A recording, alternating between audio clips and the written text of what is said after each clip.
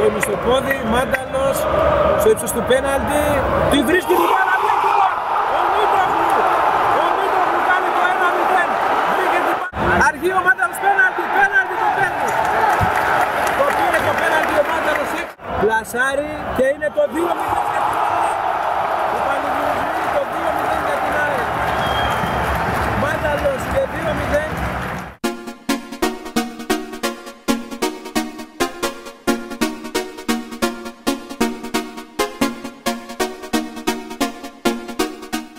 φίλοι του Ike Passion, γεια σας. Είμαι ο Λάκης Κοντσιώτης και είναι το podcast του Ike Passion πριν τον αγώνα της ένατης αγωνιστικής πρωταθλήματος ε, μεταξύ του Απόλλωνα και της ΑΕΚ.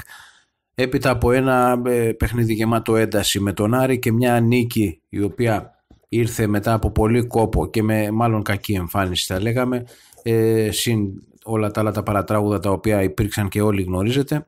Φτάνουμε το ερχόμενο Σάββατο στη Ριζούπολη όπου η ΑΕΚ ένα βήμα πριν το μεγάλο ντέρμπι με τον Ολυμπιακό στη 10η αγωνιστική και στις 21 Νοεμβρίου καθώς μεσολαβεί η διακοπή για τις εθνικές ομάδες ε, θα παίξει με τον Απόλλωνα και το δύσκολο της υπόθεσης είναι να παραμείνει συγκεντρωμένη στο παιχνίδι αυτό. Νομίζω ότι οι σημαντικές δυσκολίες που θα έχει ο Γιάννικης ε, για το συγκεκριμένο παιχνίδι είναι πρώτα απ' όλα το να μην υποτιμήσει τον αντίπαλο, να συγκεντρωθεί στο συγκεκριμένο μάτς και από εκεί και ύστερα σαν οργανισμός ΑΕΚ έχει να αντιμετωπίσει το ιδιόρυθμο, ιδιότυπο, πείτε το πως θέλετε, γήπεδο της Ριζούπολης που είναι ένα γήπεδο ε, παλιάς τεχνολογίας, θα μου επιτρέψετε να πω, ε, με τις εξέδρες πολύ κοντά στον αγωνιστικό χώρο, με τον κόσμο της ΑΕΚ να έχει αγανακτήσει από τα όσα ακολούθησαν το ντέρμπι με τον Άρη, ένα ντέρμπι εντός εκτός αγωγικών, βάλτε το εσείς όπως νομίζετε, πάντως αγωνιστικά ήταν έτσι.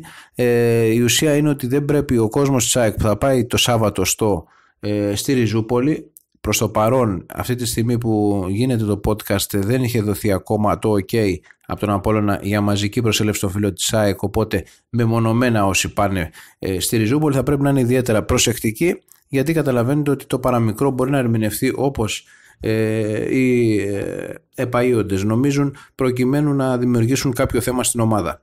Ένα πρώτο δείγμα είναι ότι ο κύριος Κλάτεμπερκ, ο Άγγλος αρχιδιαιτητής, πέρα από τις φοβερές και τρομερές του εκτιμήσεις που έκανε. Μάλιστα είπε ότι το πέναλτι του Μάνταλου δεν ήταν εκτός των άλλων. Την προηγούμενη εβδομάδα είχε πει ότι δεν υπήρχε καμία αποβολή για την κουτουλιά του Γκρίλο στο Σιμόες και πάει λέγοντας. Ε, όρισε ξένο διαιτητή για το συγκεκριμένο παιχνίδι το Απολωνάεκ, το Πορτογάλο Ζωάο Πινέιρο. Ενώ την προηγούμενη εβδομάδα, προσπαθώντας μάλιστα χωρίς να έχει κάποιο πρόβλημα, εννοείται η ΑΕΚ, να δημιουργήσει εντυπώσεις, δεν είχε βάλει έναν ε, ξένο διαιτητή όπως είχε ζητήσει η ΠαΕ Άρης, Έβαλε τον Αριστοτέλη Διαμαντόπουλο και ξέρουμε όλοι πολύ καλά τι έγινε. Α μην ξανασχοληθούμε με αυτές τις φάσεις. Ήρθαν και τα σχόλια του Ντέμι Νικολαίδη που τοποθετήθηκε άκομψα για, το, για τις συγκεκριμένες φάσεις ε, με τρόπο τέτοιο ώστε ε, να ε, δίνει νερό στο μήλο των αντιπάλων στα σχόλια και σε όλο αυτό το πόλεμο τον επικοινωνιακό που γίνεται στην ΑΕΚ. Οπότε ήταν άστοχη η τοποθέτησή του με τον τρόπο που έγινε. Ξέρουμε όλοι πολύ καλά και βλέπουμε και είπαμε και σχολιάσαμε. Δεν θα κάνουμε το άσπρο μαύρο προς Θεού αυτά που κοροϊδεύουμε στους άλλους αλλά πρέπει και να προστατεύουμε την ομάδα μας με τον όποιο τρόπο και κυρίως επικοινωνιακά γιατί οι πόλεμοι πλέον είναι επικοινωνιακοί. Σε ό,τι αφορά καθαρά το αγωνιστικό κομμάτι, ο Αργύρης Γιαννίκης θα έχει από ό,τι φαίνεται πάλι το πρόβλημα στον έξω δεξιά, σε αυτό το 4-2-3-1 που ακολουθεί και δεν φαίνεται να αλλάζει. Ε, είναι ένα σύστημα το οποίο ταιριάζει στην ομάδα έχει τώρα τα πλάγια μπακ από τη μία με το Ρότα ή το Μισελέν που θα δούμε ποιον θα επιλέξει και από την άλλη με το Μοχαμάντι να του καλύπτουν όλη την πλευρά. Ε, έχει τα εξτρέμ, ο Τσούμπερ σίγουρα αριστερά και δεξιά Άμραμπατ ή Γκαρσία, αλλά και Άμραμπατ και Γκαρσία δεν φαίνεται ότι θα είναι έτοιμοι. ο Άμραμπατ σχεδόν σίγουρα, αλλά και ο Γκαρσία έχει κάποιες ενοχλήσεις. Μάλλον βιάστηκαν να τον βάλουν την προηγούμενη ε, Κυριακή με τον Άρη και τον είδαμε ήταν και ανέτοιμος. Δεν υπάρχει λόγος να πιεστεί. Τώρα ο Τάνκοβιτς δεν ήταν καλός, δεν ξέρουμε αν θα παίξει πάλι. Είναι και πάλι η λογική βέβαια ε, προσθήκη στην 11 αλλά δεν ικανοποίησε καθόλου. Εγώ θα ξαναπώ για άλλη μια φορά ότι ίσως ο ε, Αργύρης Γιαννίκης ε, δει και την περίπτωση να βάλει τον Τζούμπερ δεξιά και να βάλει τον Χατζησαφή αριστερά μπροστά από τον Μοχαμάντι να είναι οι δύο Ιρανοί δηλαδή στην αριστερή πλευρά της επίθεσης. Από εκεί και η Στρακιοσιμάνσκι δεν έχει ικανοποιήσει ιδιαίτερα, οπότε δεν είναι απίθανο να δούμε και το Σάκοφ δίπλα στο Σιμόες. Ο Σιμόες που αν είναι καλά, γιατί δίνει και την τελευταία εκμάδα των δυνάμεων του μέσα στον αγωνιστικό χώρο και αποχώρησε σχεδόν τραυματίας προχθές.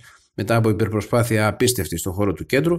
Ε, Σιμόες με Σάκχοφ ε, φαίνεται να είναι ένα έτσι καλό ε, αμυντικό συγγνώμη, δίδυμο στα χαφ ε, να πάρει κάποιες ανάσεις και ο Σιμάνσκι ή να σκεφτεί λίγο καλύτερα το παιχνίδι του. Φαίνεται να μην είναι πολύ καθαρό το μυαλό του την ώρα του αγώνα. Στην άμυνα, η απουσία του Μίτογλου κατά πάσα πιθανότητα θα καλυφθεί από τον Γιώργο Τζαβέλα ε, και εκεί είναι το προφανές νομίζω. Ο Βράνιε είναι άψογος, δεν έχει κανένα πρόβλημα. Δεξιά θα έχουμε τώρα Ρότα πάλι ή Μισελέν. Εδώ είναι ένα θέμα σημαντικό γιατί θα δείξει και το πώς σκέφτεται το παιχνίδι με τον Ολυμπιακό ο Αργύρης Γιάννικης. Αν βάλει πάλι το Ρότα, είναι σίγουρο ότι τον υπολογίζει και για το παιχνίδι τον Ολυμπιακό. Αν βάλει το Μισελέν, τότε θα ε, παρουσιάσει κάποια θα λέγαμε αμφιταλάντευση ανάμεσα στους δύο γιατί σίγουρα και είναι ένα τεστ ε, για να δούμε γιατί δεξιά έχουν παρουσιαστεί γενικώς φέτος πολλά προβλήματα και από την εποχή του Μιλόγεβιτς και από την ε, αμυντική συμπεριφορά που είχε ο Ρότα την προηγούμενη εβδομάδα με πολύ ε, πάθος αλλά απειρία ε, γλίτωσε στο τσάκ την αποβολή και στο τσάκ να αφήσει την ομάδα με 10 παίκτες, τα ξέρουμε όλοι. Και σίγουρα κάτω από τα δοκάρια ο Τσίτσαν Στάνκοβιτς, ο MVP του αγώνα με τον Άρη, ενός αγώνα που ο Άρης φυροκόμπησε την ΑΕΚ, αλλά λόγω του Τσίτσαν Στάνκοβιτς σε μεγάλο βαθμό η ΑΕΚ άντεξε, πήρε μια πολύ σημαντική νίκη. Ο Αυστριακός γκολκίπερ, έχουμε, έχουμε ξαναπεί με τα πόδια, είναι πάρα πολύ καλός κάτω, δίνει σιγουριά στην άμυνα στους παίκτες της άμυνας που του γυρίζουν την μπάλα και παίζει πολλές φορές σαν παλιό λίμπερο ε, είναι σημαντικό αυτό και ξεκινάει και το build-up της επίθεσης, της ανάπτυξης της επίθεσης της ομάδας με έναν τρόπο τον οποίο κερδίζει σίγουρα έναν παίκτη παραπάνω ε, στην επιθετική της λειτουργία η ομάδα. Από εκεί και ύστερα. Ο Αργύρης Γιαννίκης καλείται να δοκιμάσει κάποια πράγματα να μην αναστατώσει θα λέγαμε την ισορροπία της ομάδας γιατί θα φύγουν οι παίχτες ε, για τους αγώνες με, την εθνική, με τις εθνικές τους ε, προέχει να γυρίσουν υγιείς και να ετοιμαστούν όλοι για το μεγάλο ντέρμι τον Ολυμπιακό 21 Νοεμβρίου. Ραντεβού με το ΑΕΚ Passion και τη μετάδοση το Σάββατο 7.30 είναι η σέντρα του αγώνα στη Ριζούπολη από τις 7 για το pre-game show. Ήταν ο Λάκης Κονσιώτης και το podcast του ΑΕΚ Passion. Φίλες φίλοι, γεια σας.